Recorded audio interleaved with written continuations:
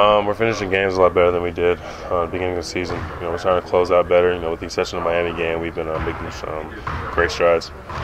Myles, last night you outscored and out rebounded Porzingis. I guess do you kind of look forward to going up against a fellow rookie like him? Yeah, yeah, yeah. Porzingis, man, that's my man. It's like um, we worked out together in the summer a lot, you know, and um, I think we have similar games, so it's gonna be fun uh, matches here in the future uh, with us you know, for years to come. So what about last night? What kind of like keyed into your success against him and on the court? Um, we weren't really guarding each other that much. In the first half, we were. Second half, not as much. They started putting the smaller guys on me, so I was just, just uh, you know, taking advantage of uh, you know what was given to me. You know, put smaller people on me, I'm gonna shoot over them. Put longer people on me, I'm gonna try and you know, drive by them. So, man, it is what it is. Yeah, how much fun are you having in this this situation here? And obviously in the starting lineup now, getting a lot of minutes. I mean, what's it been like for you?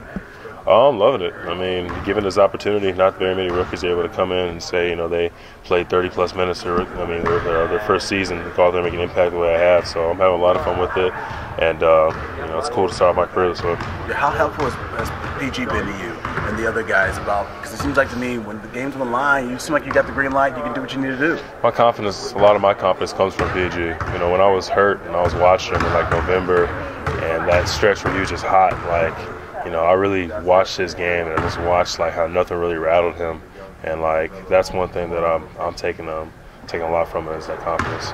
Was last night kind of an encouragement for you guys, able to close out the game when it's kind of a tight game near the end? Something you guys have been trying to work on and improve on?